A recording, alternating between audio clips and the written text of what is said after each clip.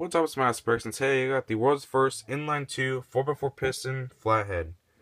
Now, uh, I'm explaining in the beginning of the video since it's a pretty simple setup. But basically, first things first, I got the head here. So, as you can see, you got some bricks in there to take up some space so that the vacuum has less, you know, air to put under negative pressure. It actually runs faster with these, you know, baffles in there. I got little, these little electrodes in there for like the spark plug, just for cosmetic purposes.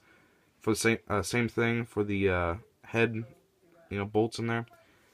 So pretty simple. You just put that on there. Simple, you know, just easy to put on and off because I have like you know, just a couple you know plates here and there, scarce, you know, holding this thing on, so it's easy to take it on and off. So you get two intake valves side by side. The share the same port. You got two exhaust uh, valves and having its own port. Um, so some setup there. The two coolest parts in here, I think, is uh, I got the lifters in there. As you can see, it's like realistic, so you got like the saw lifters type of ordeal going on there.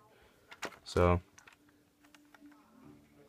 if I can move it, that, so you can see, moves the valves. So, yeah, um, so you got that. So put the cover back on there. And then I got the uh, most complicated valve spring system in the world. So as you can see here, you got a little complicated system going on over here. I had less than three bricks tall space to actually work with inside here, which was not a lot to say the least. And um, basically what I do, as you can see, you got lift arms, you know, going from side to side. Um, why I have that there is because two valves go up the same like time. So, you know, as one two goes up, then two have like are like stationary. Now the problem with that is, is that if everything's all connected, like you know, there's like no variation. You know, every single valve is connected to its you know just one single rubber band going across there.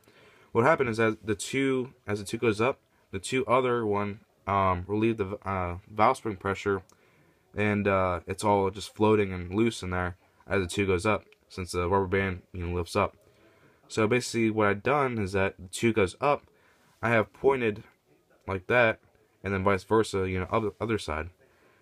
Now if you look at a band, like an oval, flat out, you got two sides, two longest sides. So as I have that thing stretched out, I got two sides on there. And the two that goes up at the same time, I have pointing in the same direction. So when the two goes up, it only affects one side of the rubber band and not the other side which means that the other side, that the two that are stationary, still have valve spring pressure on there. So it's really complicated.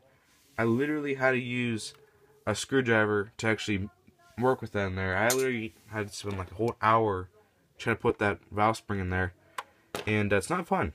I literally almost smashed this thing to pieces. I'm not gonna lie. But uh, basically, after that, put the little cover on there. So just being held on with like two studs. So pretty simple take on and off. Like I said again, a lot of stuff on here. Simple take on and off. Except that intake exhaust manifold, oh man. Um except that thing don't want to cooperate though.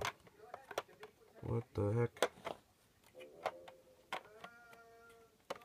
There we go. Alright, so the intake manifold is pretty simple, it's just straight through, four studs wide. Um, I want to do two studs wide to make this thing a bog motor, just a slow, you know, slow, cool flathead inline two. But it actually didn't run with the two studs wide, so I had to make it four studs wide, which makes it go fast, which somewhat cool. Um, I have the exhaust manifold on here and the collector like so. Now, what I'm thinking is that it actually goes faster with exhaust manifold. What I'm thinking is that this head leaks a lot. I'm not gonna lie, this you know whole port design kind of leaks a lot. So the vacuum actually goes in here in a measurable amount. Um, it's actually noticeable when you put your thumb over it. So one thing is that the vacuum, whenever it collects in the uh, bottom, it creates a bigger vacuum, which um, goes to two ports. And what I'm thinking is that it helps pull down each exhaust uh, port and uh, makes it seal better, makes it go faster. So that's what I'm thinking. Um, I'm not sure what you guys think. Leave a comment down below what you guys think about it. It's uh, pretty simple. You got pins being pushed on there, except that I can't even do anything about it. Alright, there. Finally.